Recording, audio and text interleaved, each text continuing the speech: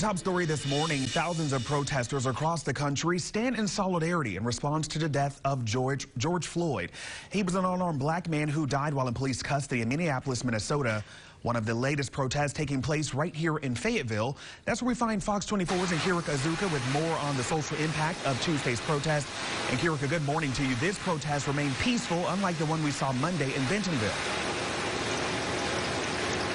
Yes, right. Good morning, Tavares. So organizers of this protest wanted to ensure they stressed the importance of this protest staying peaceful, and protesters were actually the ones who were helping make sure that that happened. Now, our Fox 24 team was out from the beginning of the protest until the end here in the Fayetteville Square.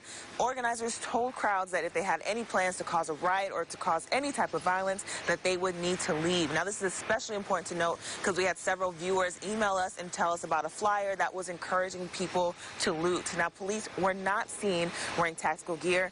Fayetteville Police Chief Mike Reynolds and his whole department were showing solidarity with protesters during the event by kneeling with everyone for eight minutes, which is about the same amount of time former officer, Minneapolis police officer Derek Chauvin, had his knee on Floyd's neck.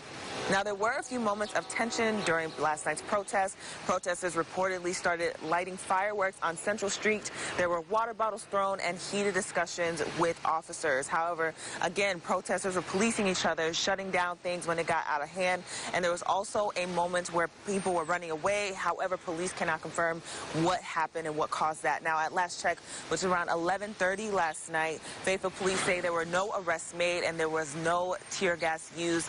They say that there may have been pepper spray used, but it's unclear if that came from police or protesters. Live in Fayetteville, Kirika Azuka, Fox 24 News.